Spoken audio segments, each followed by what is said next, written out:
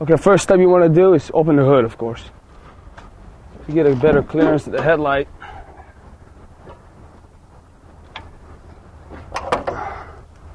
Next, I'm, I'm not going to use a 320 sandpaper grit because it doesn't look as bad as some of the other headlights that I've seen.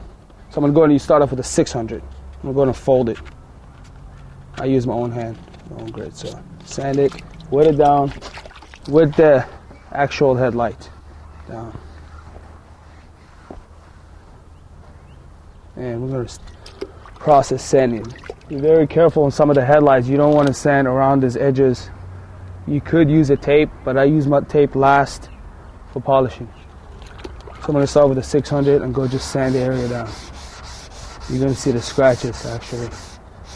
You might be able to even see this yellow stuff coming off. That's just the oxidation. That's what's coming off. Actual thing. I'm gonna go ahead and continue sanding with a 600 to get rid of all these little spots that you see. I don't be able to see it in the camera, but there's one areas here also, and you feel the roughness on it. You want to get rid of all that. Every headlight is different. You want to make sure. This is a very small headlight.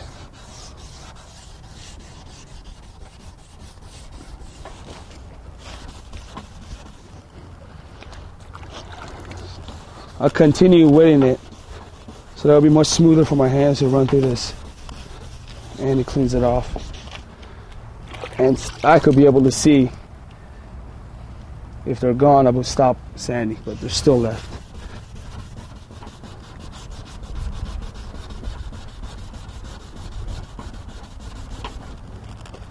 Be very careful on the edges. If this is going to be your first time I recommend taping it down but since I've been doing it for a while, I don't need to. I'll just be very careful on the edges.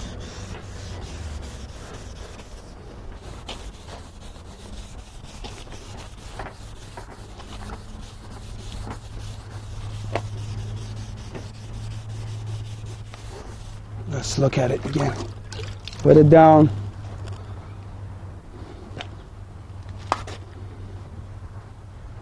If you wet it down, you'll be able to see it much better. See any areas that you missed.